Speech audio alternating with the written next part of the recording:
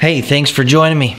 Last episode, we had left off with me getting drawed back on a nice buck I named Larry. And the other two bucks with him, I nicknamed Daryl and Daryl. As you can see in the Browning Trail Camera video after they went by. That was a Friday. I got geared up to hunt October 27th. And I picked that day Went out and checked trail cameras on Thursday just to get some MRI, most recent information. And I had great surprise.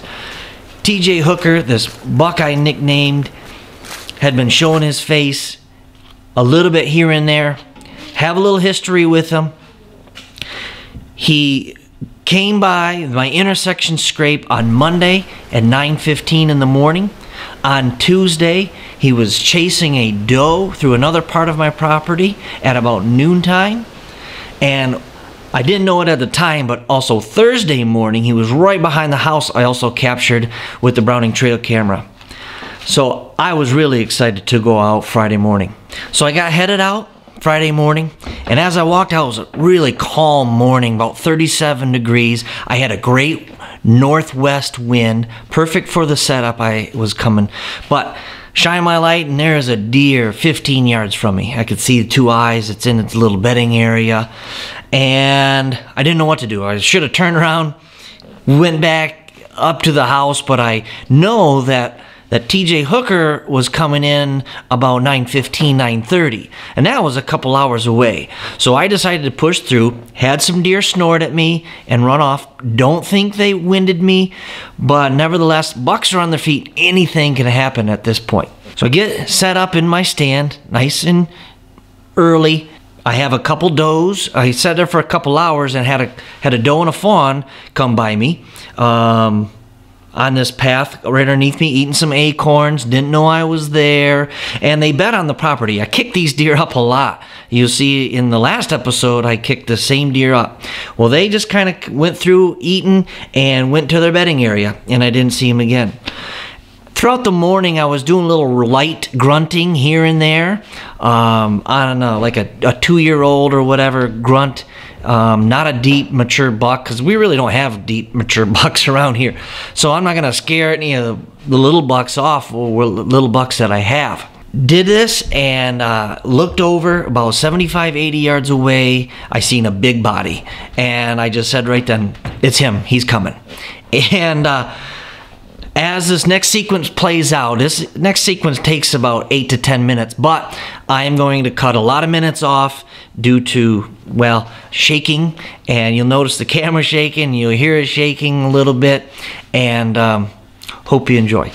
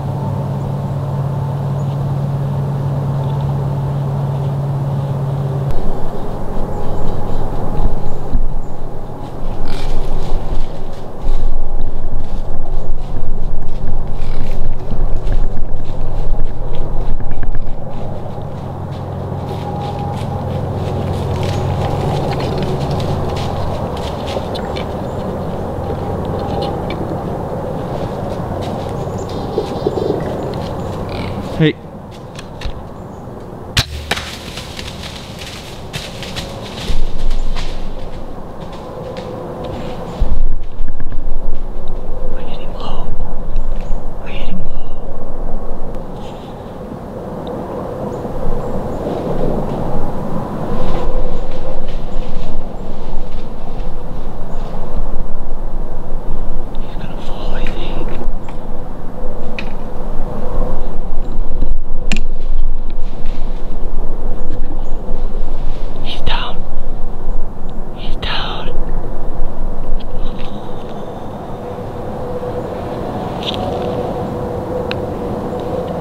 So after I shot, uh, after about 10 minutes, I had a couple yearling bucks come right underneath me from behind me.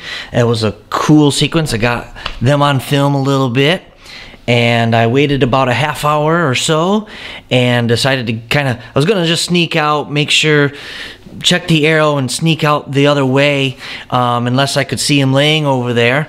And um, the recovery footage is really shaky and raw, but I decided to show a little bit of it. And uh, I just could not be happier with everything. It all worked out great. Um, you know, I- I'm guessing TJ to be about a three year old buck, three and a half year old, but it's his fourth hunting season. You know, he, his first year, he's six months old, he's a button buck, not sure what to do. And I looked back in some old footage and I think I found some some footage of him from last year as a two year old, and I might have even found one as a year and a half. I I checked the lower jawbone, and, and to me, obviously, he is two and a half easily, at least, but he very easily could be three. I sent the two front incisors into ageyourdeer.com to get those aged so I can get a better perspective. He weighed 190 pounds, live weight. He, um, uh, 160 after I field dressed him. And but I'm telling you what, I got a new Darton bow this year, and uh, it's a great little shooter. I used Ramcat broadheads, but if that deer did not drop after the sound of the arrow hitting, I just barely caught the bottom of his heart with that Ramcat original.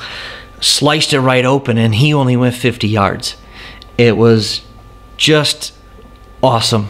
And uh, hopefully, I can repeat these steps again. Thank you for watching Complete Deer TV Landscaping for Whitetails. Please subscribe, share the video, tell me your thoughts. God bless.